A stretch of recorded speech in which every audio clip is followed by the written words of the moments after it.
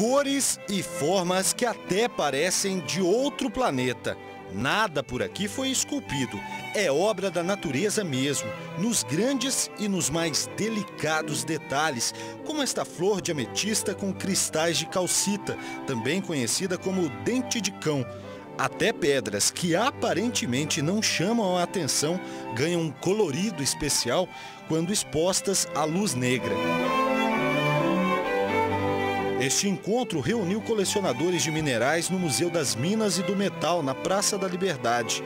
Antônio é geólogo e colecionador há mais de 40 anos. Uma paixão difícil de explicar. Ninguém entende paixão por pedra.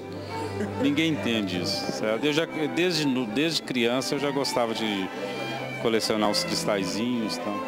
Lourenço costuma definir essa paixão pelos minerais como uma aventura no melhor estilo Indiana Jones. Que é uma procura constante e às vezes nos lugares mais inusitados, então a gente já, nós já entramos em, em galerias de garimpo, galerias assim, que ficamos sabendo que uma semana depois ela desabou.